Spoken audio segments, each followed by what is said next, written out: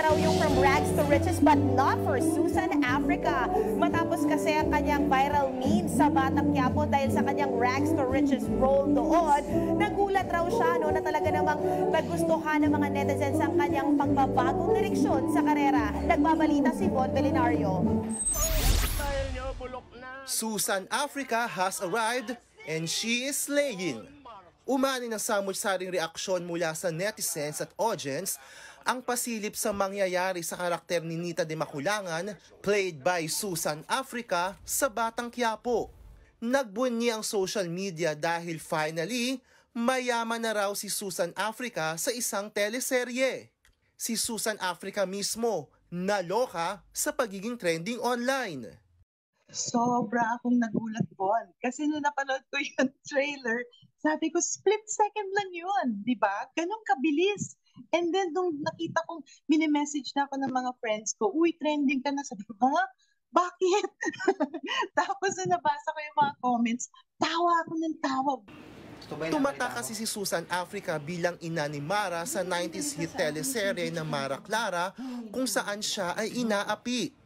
Nagpasalamat ang aktres dahil natatandaan siya ng audience sa role na iyon pero paglilinaw niya, marami rin siyang roles na middle class at minsan nakakaangat-angat din. Ang iba rito, ginawa niya sa Kapatid Network at ang isa, nagpanalo sa kanya ng Best Supporting Actress sa Metro Manila Film Festival. My dear heart, secretary ako ni Connie Reyes, hindi rin ako mahirap doon. Ay, The Sisters ng TV5. Ano naman ako, Donya, na asawa ng mayor played by Eddie Garcia in 1987 in the film Olongapo, The Great American Dream. Ang role ko doon isang mamasan na kontrabida na sobrang masama, salbahe.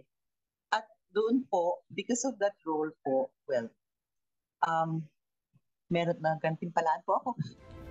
Speaking of gantimpala, isang malaking gantimpala para sa kanila sa Batang Quiapo ang patuloy na mainit na pagsuportang nakukuha nila. Patunay riyan ng mataas na ratings at live concurrent views online. Pero ano pa nga ba ang aabangan sa pamilya di makulangan?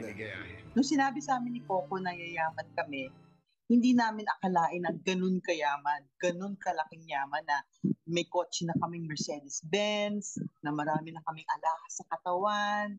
Nakakatuwa kasi iba siya. Ako si Von Belinario para sa 1PH.